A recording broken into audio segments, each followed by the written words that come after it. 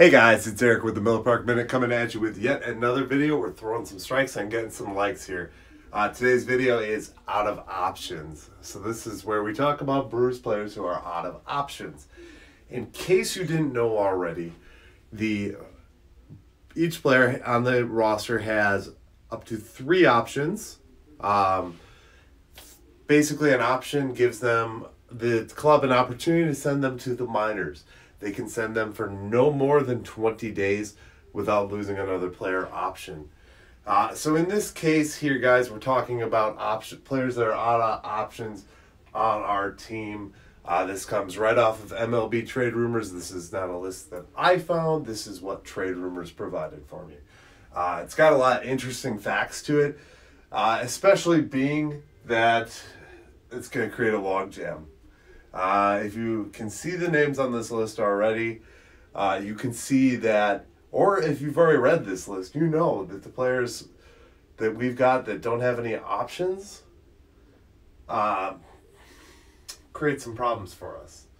Uh, going right down the list, we're just going to read it first. We've got Jesus Aguilar, Junior Guerra, uh, Corey Knebel, Erik Kratz, Hernan Perez, Manny Pina, and Eric Thames.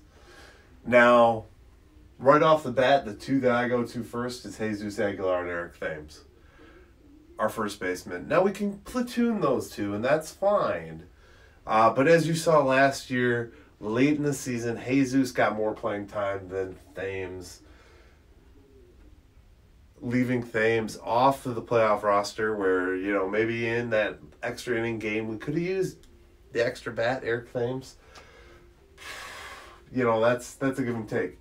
Junior Guerra actually uh, had a rare opportunity where, because of time and timing, he got an extra option, uh, but now he is out of options. So uh, he's not going to be a starter this year. He is going to be a bullpen guy. Uh, he's going to be used as more long relief. Uh, he's been working hard in the off season to work on his off speed stuff and his other pitches. So I think he he presents no problem for us. Uh, Corey Knebel got sent down last year after some trouble he had. Uh, there's some incident with the fans harassing him. A lot of stuff got scared, bad with Corey Knebel. He st- shut down Twitter for a while because of harassment, uh, because of what was going on. Not cool on the fans' part. So if that was you, shame on you. Uh, Erik Kratz, again, this one produces an issue because we've got Manny Pina and Erik Kratz. We all know Yasmani Grandal is not going anywhere. He is a lock. He is number one. Uh, but Erik Kratz, Manny Pina, both non-optionable players.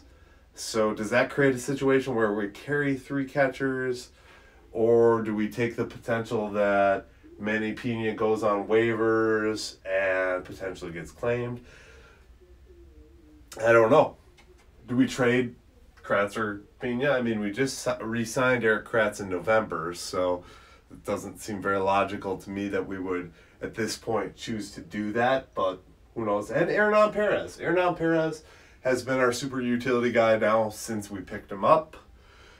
I don't think he's going anywhere. I don't want him to go anywhere. I like his usefulness in the field, his versatility.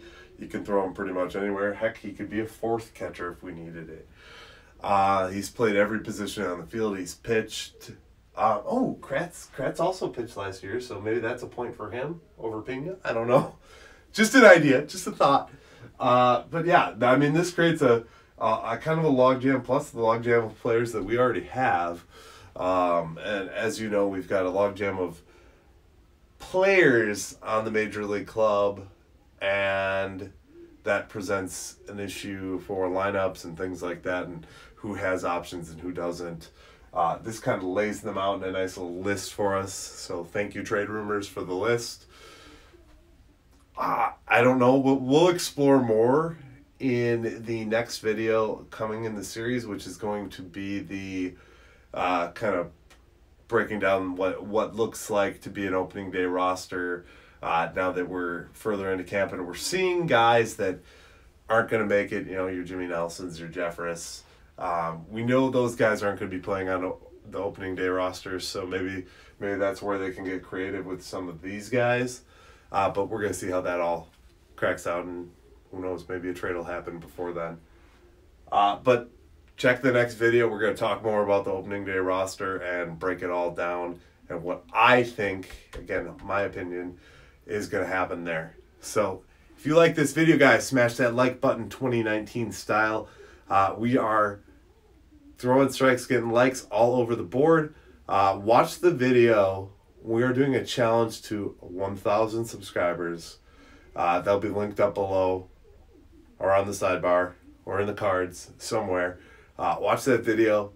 Uh, there is a challenge there. A little, a little fun, a little excitement. So watch that. Check that out. Uh, see what I'm going to be doing with the 1,000 subscriber uh, once we hit that mark. We're at 570 right now. So once we get to 1,000, it'll get exciting.